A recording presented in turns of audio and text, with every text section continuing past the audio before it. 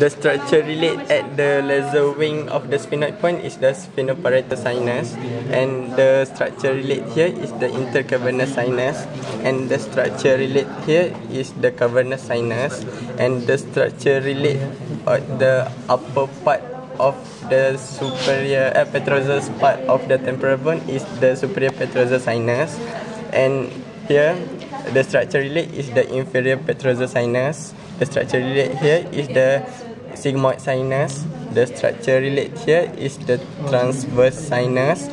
The structure relate here is the superior sagittal sinus.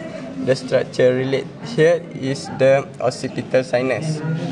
And uh, for structure attached, uh, uh, the at the here clivus the structure relate is the basilar venous plexus.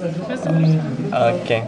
And for here, crystal glia, frontal crest, and the until uh, superior sagittal sulcus until the in as internal occipital protuberance the structure attached here is for the part cerebral.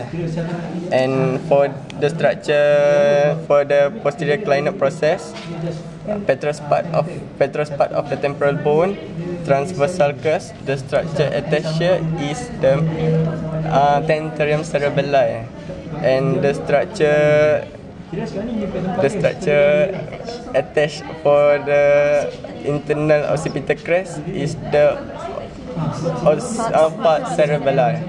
That's all.